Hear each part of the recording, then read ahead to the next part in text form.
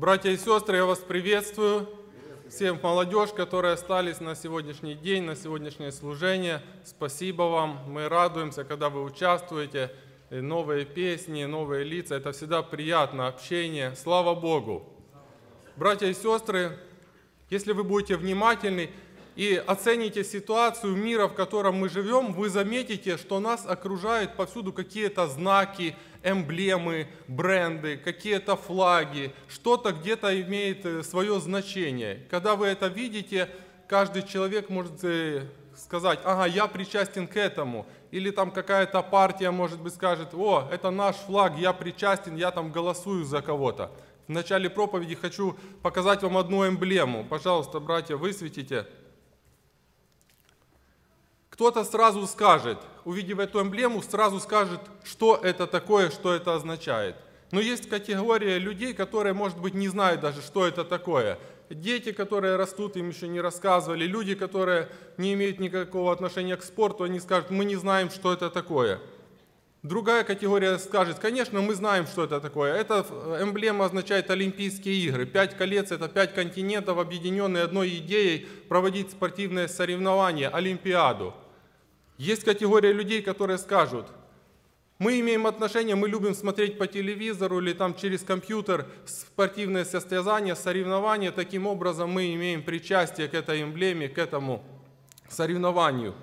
Есть еще категория людей, которые занимаются спортом, любят спорт, и для них участие на Олимпийских играх – это уже достижение – потому что туда едут лучшие из страны на эти соревнования. Эти спортсмены, они ставят себе задачу, цель быть участниками соревнований Олимпийских игр.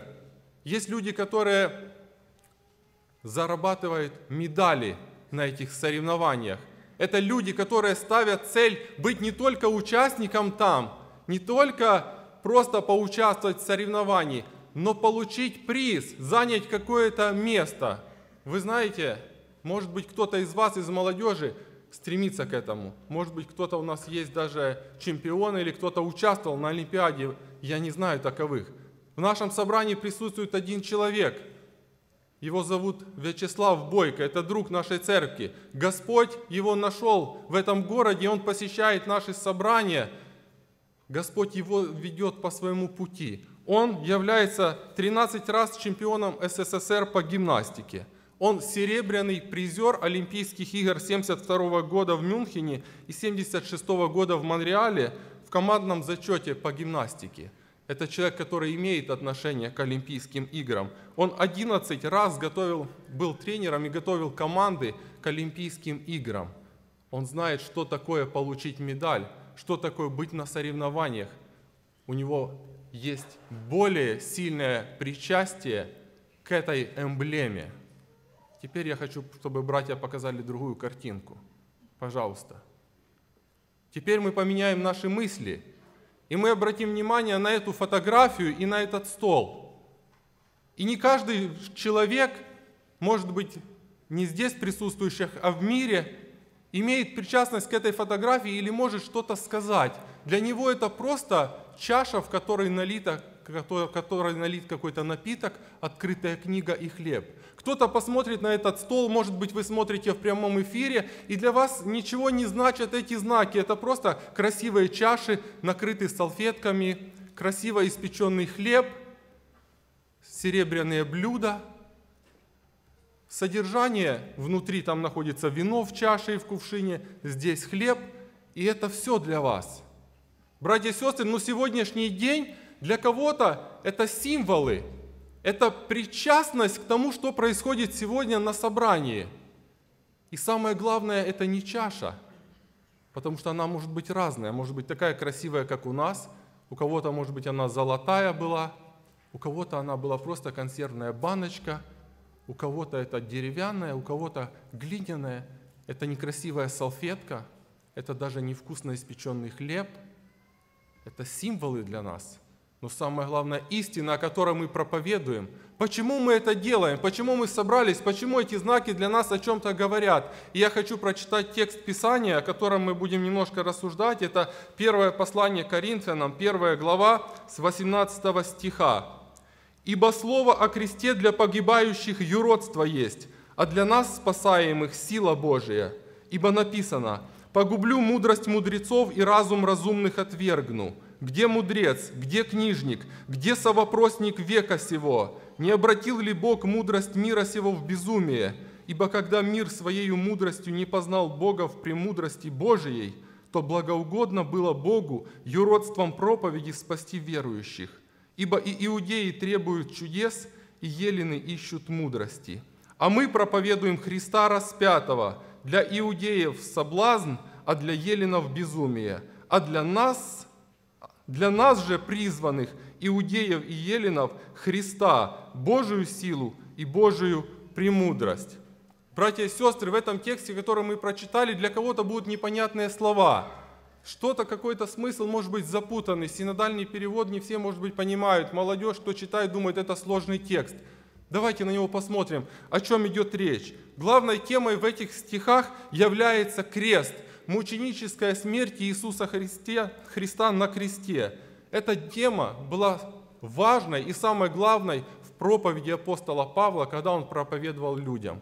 Эта тема является главная в жизни христианина. И Павел проповедовал об этом всем, но не все принимали. В этих стихах мы видим две категории людей. Здесь идет, говорится о погибающих и о спасенных, и о двух национальностях – иудеи и елены. Елены – это греки. Категории погибающих относятся все люди, которые не принимают Иисуса Христа как личного Спасителя через распятие на кресте за грехи всех людей. Категории двух. Почему апостол Павел использует вот иудеев и еленов? Он их сравнивает, потому что Павел сам был иудей, он был еврей, он проповедовал евреям, но также он был апостол язычников, он проповедовал язычникам. Иудеи, которые ждали Мессию, который освободит их от римского ига, от захвата Римской империи, они ждали своего Мессию. Иудеи всегда требовали знамений, чудес, они э, привыкли, что в Ветхом Завете Бог действовал через чудеса, и они не верили словам апостола Павла, они отвергали истину о том, что распятый Христос это и был Мессия. Это тот, который пришел умереть и спасти людей от грехов. Они отвергали это. Апостол Павел также говорил грекам, которые привыкли требовать, которых интересовали человеческие рассуждения, аргументы, логика. Церковь в Коринфе находилась в Греции, апостол Павел им писал – он понимал, что греки особо любили знания. Мудрость и философия – это то, что основывало греческое мировоззрение. И Павел им писал. И он говорит нам, он использует такое слово непонятное «юродство». Словарь объясняет значение этого слова. Это глупость, это бессмысленный поступок. Смерть на кресте ассоциировалась у греков с представлением обо всем позорном и бесчестном – и весть о спасении только через страдания и смерть распятого человека могла вызвать в их сердцах только полное презрение. В благой вести не было ничего для них привлекательного. Они привыкли рассуждать, философствовать, говорить о чем-то великом, о каких-то мудрствованиях. Но в этом тексте мы прочитали, что Бог отверг человеческую мудрость. Люди не могут понять это разумом, не могут объяснить. Бог своей Божьей премудрости, у него был план спасти человечество через распятие, через крест, через пролитую кровь Иисуса Христа. И это нельзя понять разумом, это можно принять только верою, поверив. И вот апостол Павел говорит в этом тексте, что люди отвергают. Для них это безумие. То, что мы сегодня делаем, братья и сестры, для многих людей это, наверное, безумно. Чему вы радуетесь? Вы радуетесь смерти человека – Братья и сестры, мы же не плачем сегодня. Мы сегодня радуемся. Это самый великий праздник. Это то, что Господь сказал всегда делать нам. Мы радуемся. Для других людей это безумие. Чему? Тому, что кто-то страдал? Да. Потому что этими страданиями Господь приобрел нам спасение.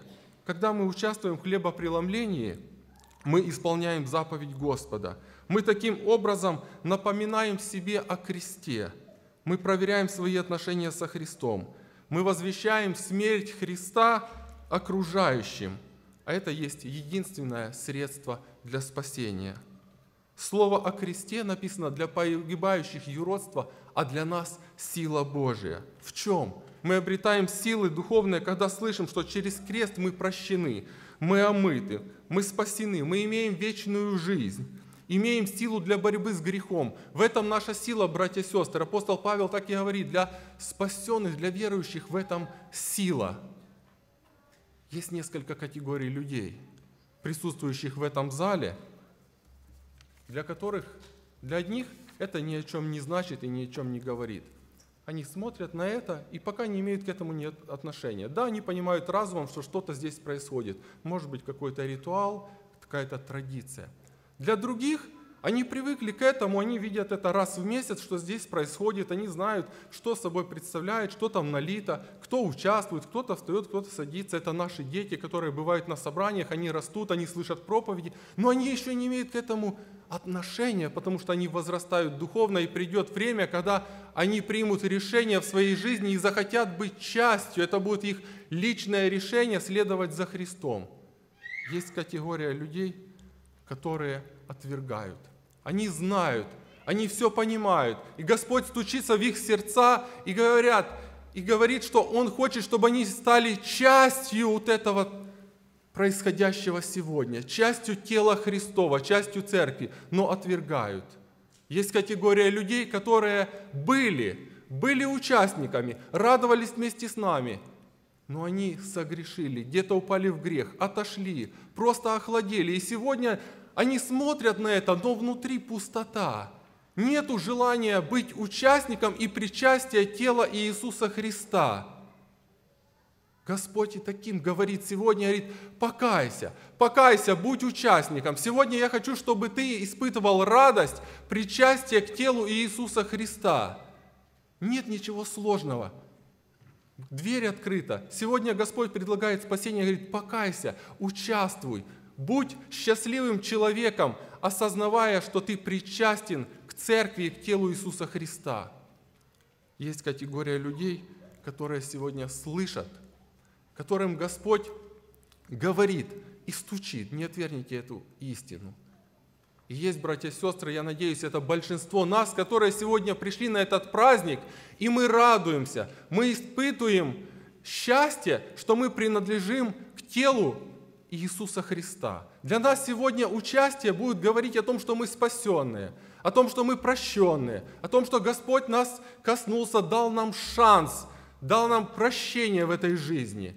У нас есть цель, мы участники. Я уверен, что когда мы придем в вечности, тогда мы получим венцы жизни, мы получим награды. Сегодня мы участники тела Христова. И Господь хочет и чтобы дядя Слава был не только медалист олимпийский, но чтобы в вечности он получил награду «Жизнь вечную».